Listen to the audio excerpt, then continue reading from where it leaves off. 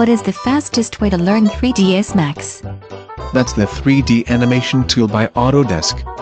And it seems like it will take 4 months or more to learn the basics. Perhaps the fastest way is to sit through the tutorials on Autodesk 3ds Max Learning channel on YouTube. It covers things like creating custom startup templates to simplifying environment creation.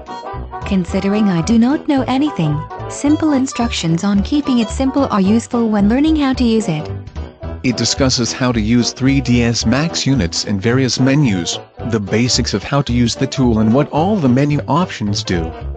Tutorials on creating actual animations beyond a few basic 3D architectural models are scarce. Autodesk was originally a 2D computer-aided design application for drafters and engineers, so the civil engineering application is understandable. But I want to do animation. Sometimes you need to go to the source. For that, I'd suggest going to area.autodesk.com slash 3ds max learning path. The homepage of Autodesk's 3ds Max and home of a lot of short tutorials and lessons. What is out there aside from Autodesk lessons?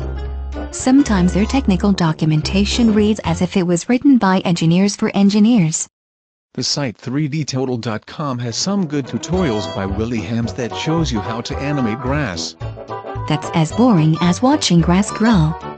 The site cgarena.com has free tutorials on things like creating neon lights in 3ds Max, in addition to tutorials you have to pay for. Free is good free and high quality is out of this world. The site 3dm3.com tells you how to create a fake planet in 3ds Max, mostly for book covers or video game intros. I'll give them points for coolness. However, I don't think I'm going to go the sci-fi route. The site tutorialized.com has lots of free tutorials on 3ds Max. From the basics to dynamics to lighting to models to materials to working with something in both 3ds Max and Mudbox. I'll give them points for covering all the bases. And unlike some of the other sites, you can choose from tutorials for projects like modeling a tree or Niagara Falls, or a couch or cars, to something else that interests you. I'd fall asleep on my couch watching someone else modeling a couch. I'd probably do the car modeling one.